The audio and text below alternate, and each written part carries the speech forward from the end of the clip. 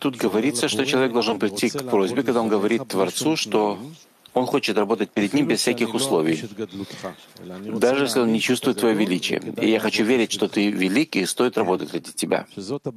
Да. И это просьба, которая покрывает всех разведчиков и все, над, над всем.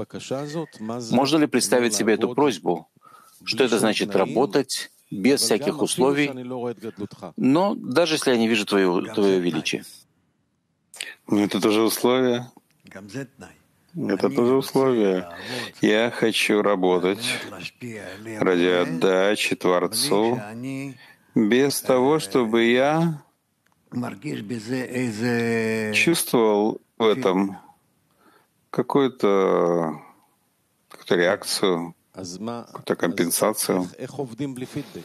Так как работать без фидбэка, без обратной связи? Это то, что мы просим. То, что просим. Потому что все, что приходит, я могу это воспринять, получать как вознаграждение, наполнение. И здесь мы должны быть совершенно без всякой компенсации. Так а за что держаться? За что ухватиться? Ну, просить, видишь. То есть, допустим, если мы представляем себя в десятке, то понятно. Нужно соблюдать все, что требует десятка. Но что значит работать без фидбэка, без обратной связи со стороны Творца?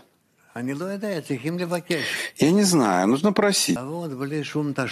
Просить, чтобы работать без всякого вознаграждения, без всякой оплаты, без всякой обратной связи, что также и в этом мы чувствуем вознаграждение.